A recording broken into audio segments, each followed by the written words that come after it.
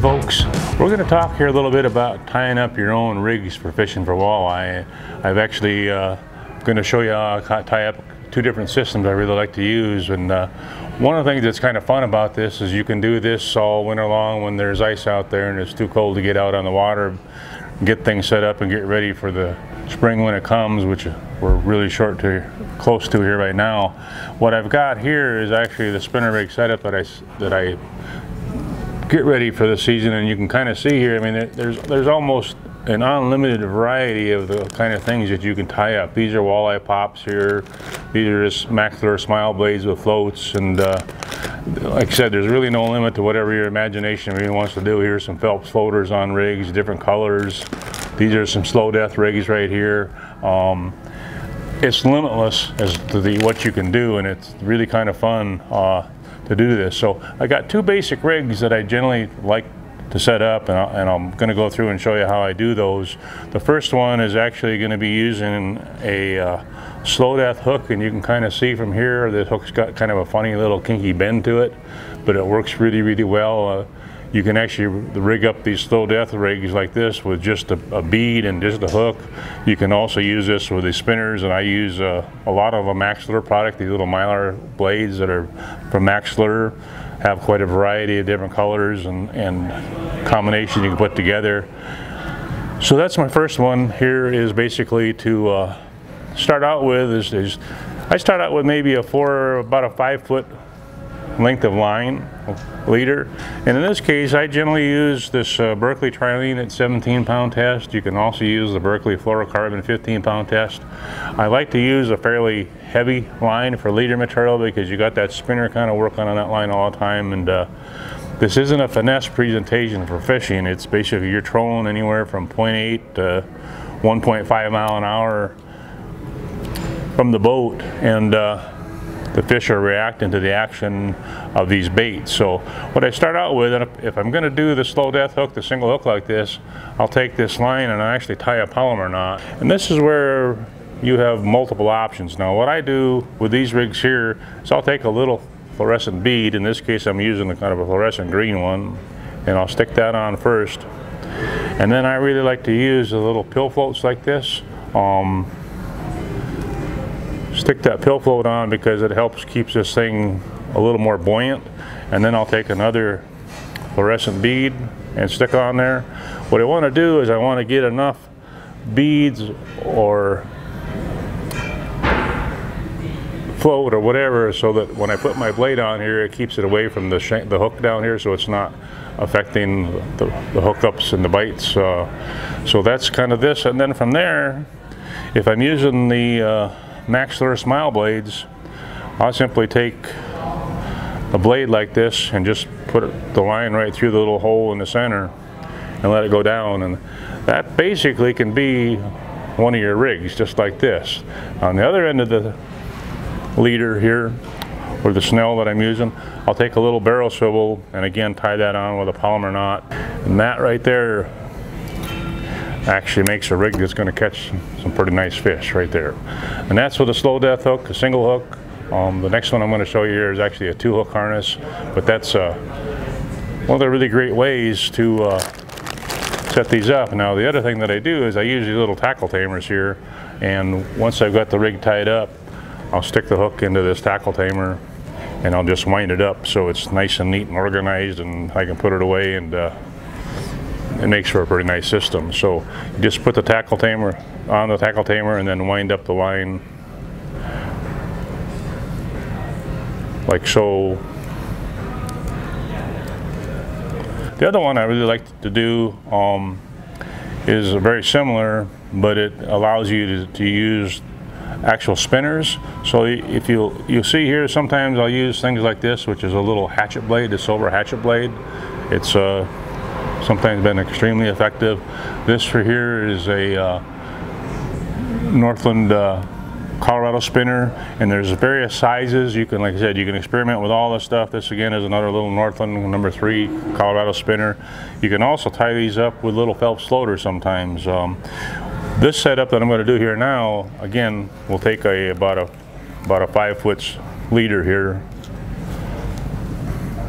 And this is a two hook harness and it's also a quick change system. So the two hook harness, what I'll do is I'll tie a snell hook. So here I use like a, a number two, like a mustad hook like this.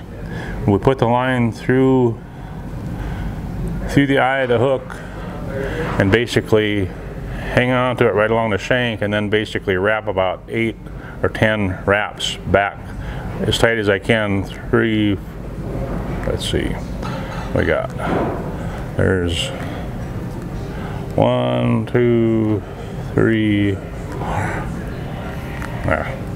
four, five, six, seven, eight, nine, ten.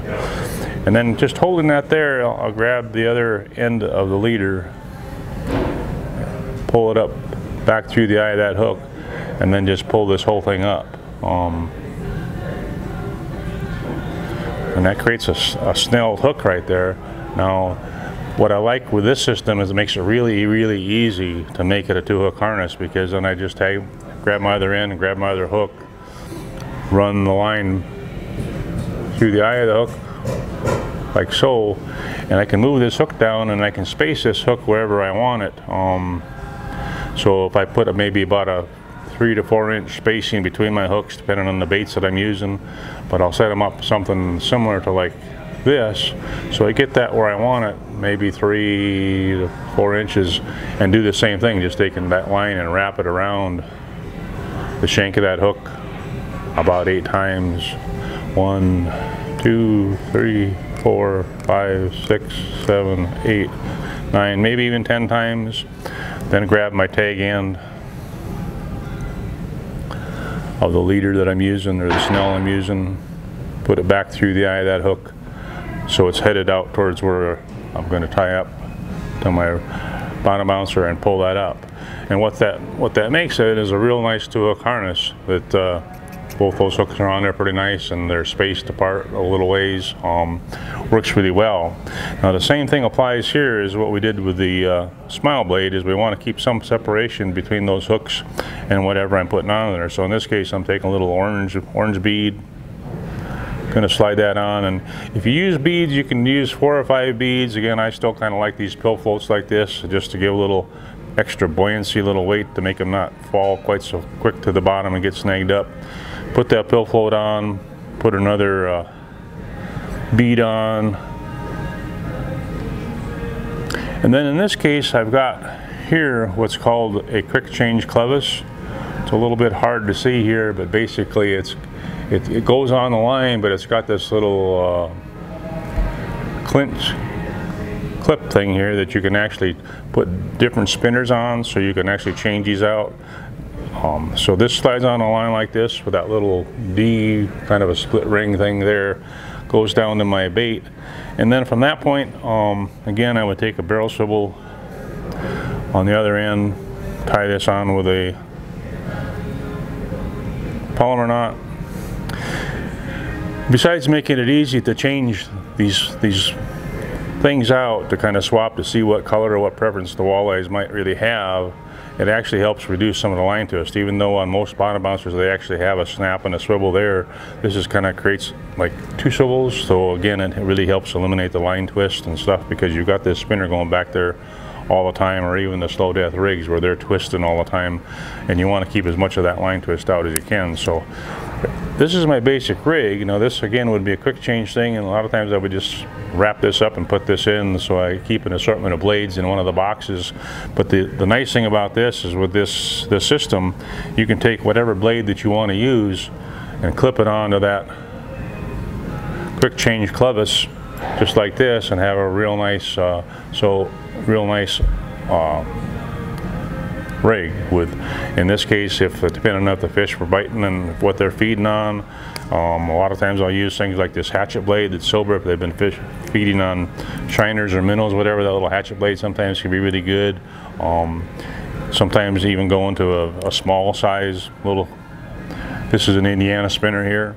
Um, but it makes it real easy to just swap things out and give fish again, the option. And what's one of the things about walleye fishing is basically you let the fish tell you what they like. Uh, you experiment a little bit, you'd be amazed at what I've seen over the years fishing different places, at different times, where something as subtle as even the change in the size of that lake can make a big difference between getting bit and not getting bit. So don't be afraid to experiment. This system here works really well because it gives you the option to do that pretty easily and changing those things out. So hope to see you out there fishing and uh, putting a few fish on the table and having a great time enjoying the outdoors with your friends and family. If you've got any questions or need any further information, just stop by any of the North 40 Outfitter stores or check the website at north40.com. Thanks for watching and hope to see you again. Thanks. Thank you.